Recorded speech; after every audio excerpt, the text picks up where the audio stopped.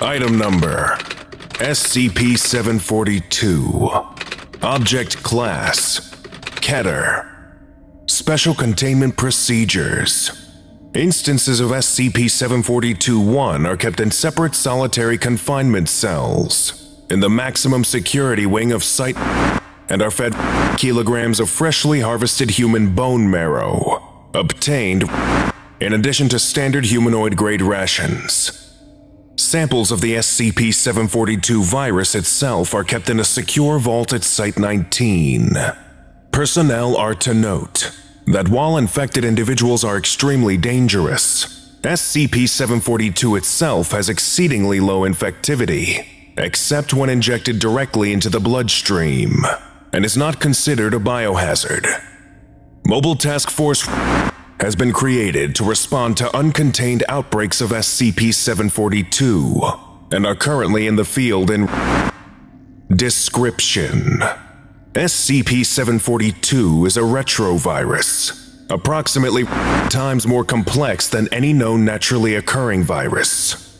SCP 742 infects all cell types, but initially only enters the lytic cycle in helper T cells, leading to a state of immunocompromise that allows SCP 742 to infect every one of the infected subject's cells. Infected cells secrete hormones that increase appetite, as well as a signal compound. Once full infection is achieved, concentration of this signal compound reaches a target level, and the infection enters stage 2. During stage 2, SCP 742 affects the nervous system, causing the infected subject to ravenously consume large quantities of protein rich food and then seek a dark, secluded area, often a cave, abandoned building, or crypt. At this point, the subject enters a state of hibernation, slowing the metabolism to the point of apparent death. During this period, the SCP 742 retrovirus completely reverse transcribes itself into the infected subject's DNA and deactivates its viral properties. Following this event, the subject is designated SCP 742 1. Newly created instances of SCP 742 1 use the food energy ingested during the viral phase to alter their physiology, resulting in an organism superficially similar to a human being, but with a second alimentary tract linked, data expunged, roof of the mouth, several new organs of indeterminate function, and a subtly altered nervous system. Once fully transformed, instances of SCP 742 1 continue to function as if they were normal human beings, and are virtually indistinguishable without medical examination. However, SCP 742 infection destabilizes the genome during reverse transcription, leading to symptoms consistent with telomerase dysfunction within approximately a month. SCP 742 1 can prevent this by ingesting human stem cells. In the wild, SCP 742 1 are nocturnal hunters, preying on isolated humans.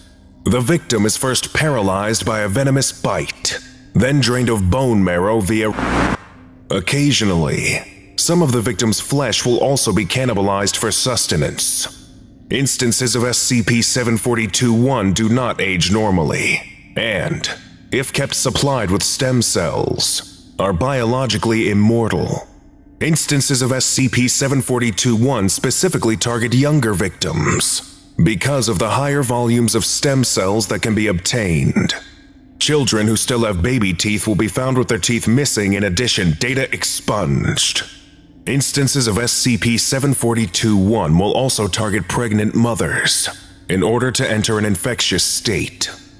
Normally, SCP-742-1 uses pluripotent stem cells from bone marrow to regenerate itself and is incapable of spreading the SCP-742 infection. However, after ingesting at least grams of totipotent stem cells, typically from a human fetus, although the source is irrelevant. SCP-742-1 secretes a small amount of fluid filled with the SCP-742 retrovirus from the glands. This fluid Injected, data expunged. Major artery of a human victim is the primary transmission vector for the SCP 742 infection. Instances of SCP 742 1 behave subserviently towards the instance that infected them. Lesson complete.